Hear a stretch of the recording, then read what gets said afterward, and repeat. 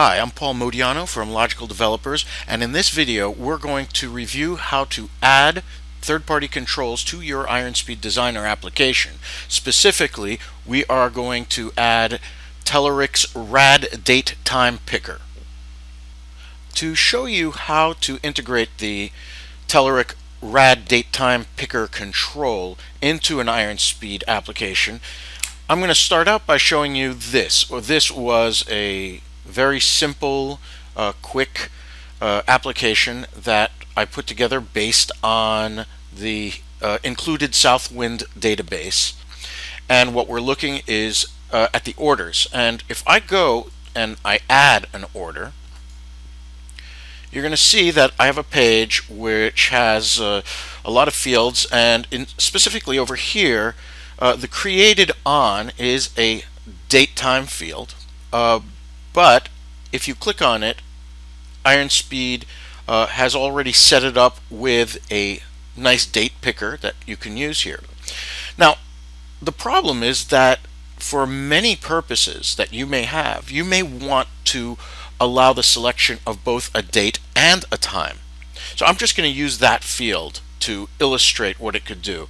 Normally I wouldn't even display the created on or updated on or created by and updated by fields. I would have them auto-populate and I would keep them invisible. But for the sake of this demonstration, I'm going to leave them in. The first thing we want to do is bring our Telerik controls into our IronSpeed Designer app. And the way to do that, or the best way to do it, is through Visual Studio.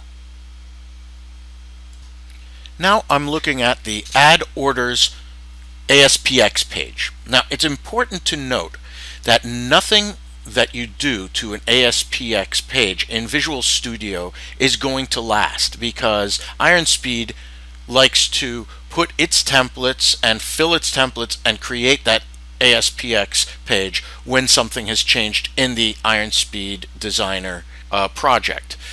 But uh, we have Telerik tools here that we need to bring in and Visual Studio will do a number of things for us. So we're going to temporarily drag these elements in and we're later going to copy them into our IronSpeed Designer app.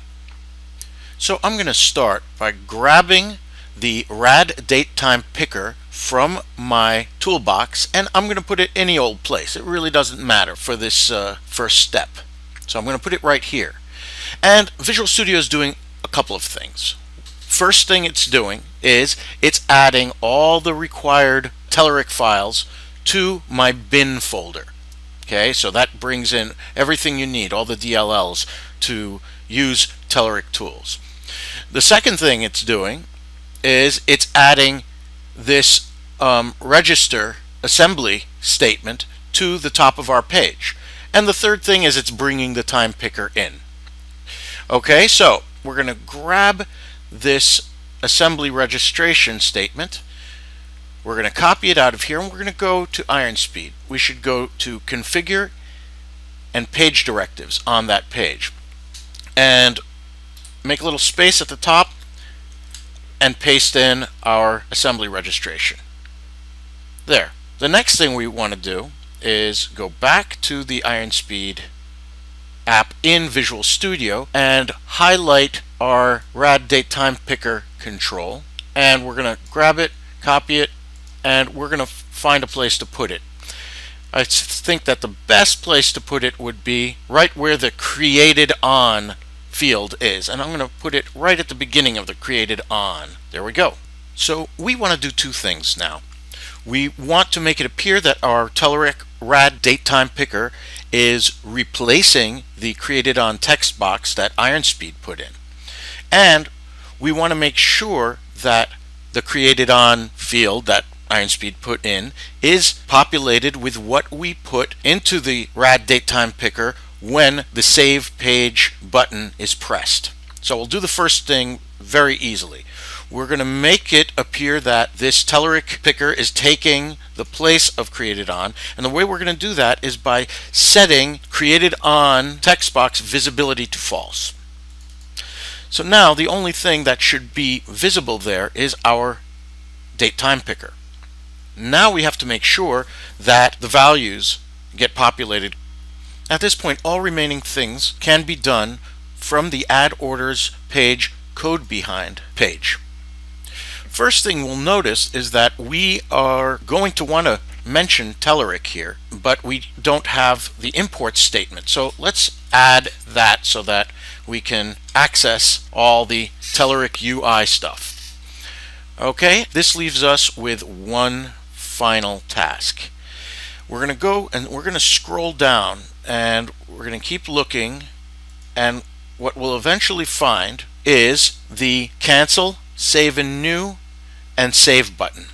And you can see under the save button, it activates this save button click base, which is going to tell it to save the page and return to the previous page. So anything that we want it to do before the save, we should do right here. And I'm just going to paste in some code that we've written. I'm pasting in three statements. The first is this, dimension create on as a text box and I use CType to find control recursively the created on uh, text box and I specify that it is a text box. So now we have create the created on that we can access.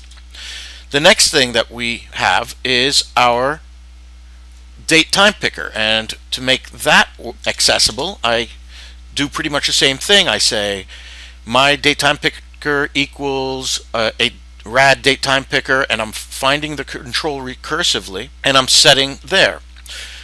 And this is the final statement that does what we want it to do before the page is saved, which is basically we say created on the text box dot text equals my date time picker dot selected date dot toString. Once that happens, the page is saved and now my created on value populates the database. Let's see how that works.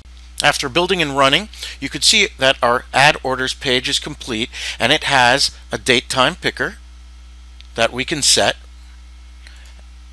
for whatever we want. And let's name the ship name my test. And I'll just set a couple of these values. And finally, we will uh, submit our page by going to the bottom and saving and let's look for my test. There it is. Okay. And let's look at it. And sure enough, it has the correct and picked date and time.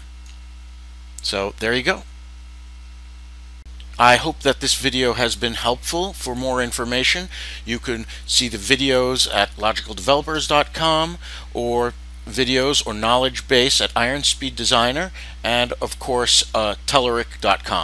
Thanks for watching.